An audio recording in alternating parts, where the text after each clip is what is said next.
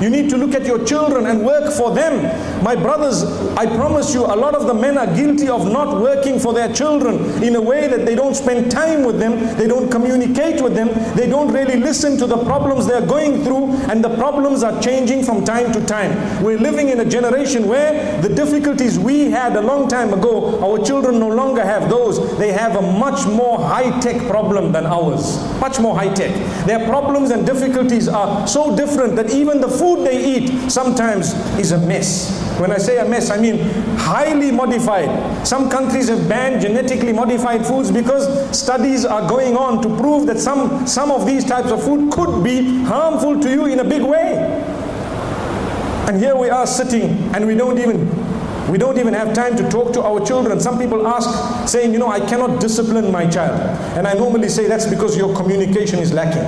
You, if you communicated from a young age, you showed interest and keenness every day. When they went to school, you made sure it was your business, find out what's going on. You know, once in a while, make sure that you go out and have fun with them and don't just shout and scream and admonish them. No, let them make their errors and blunders and mess and break the glass and break this and break that. It's part of I know the children who are here, please don't go around breaking things.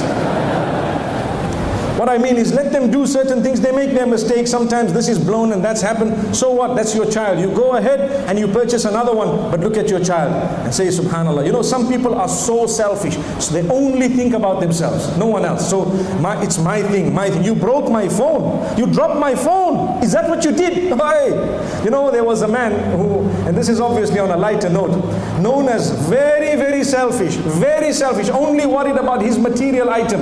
So he brand new BMW, right?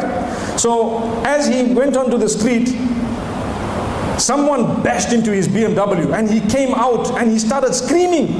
How could you do this to my car? Brand new. Do you know how much I spent on this car? I spent a million dollars on this vehicle.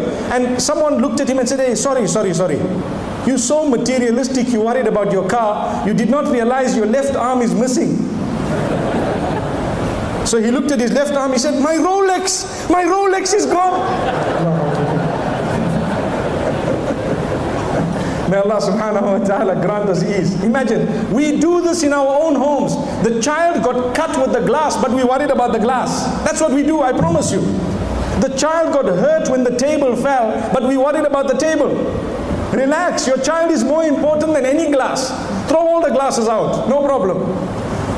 But watch your child. Don't be the man in the BMW. Don't. Let's call him the Rolex man. May Allah subhanahu wa ta'ala help us and grant us ease. So this is the beauty of a family life is to prioritize correctly. You know, if you go to work and you are a hard-working person, there is no job that is 24-7. No. You will work from 8 to 5. I think in most countries you work from 8 to 5 and maybe if you're on night shift you work from 5 to 8. Okay? A little bit less I think. And the weekend at least you get a day off. Am I right? If you don't, please go and complain to the courts. I'm sure they will do something about it. The problem with us, we complain that I go to work, I don't have time for my children. No, you do. But the time you have off, you're busy playing golf. You, you're busy going somewhere else. You're busy just driving your car around the city just to show, hey, I got a new car. Lucky, Singapore, you get a fine for every little thing. It's expensive to even drive the car. May Allah subhanahu wa ta'ala grant us ease. You are fortunate in this country in many ways that you think perhaps might be a little bit hard, but it's good because it keeps you in track, it keeps you in check. You need to watch, be careful. May Allah subhanahu wa ta'ala bless us all.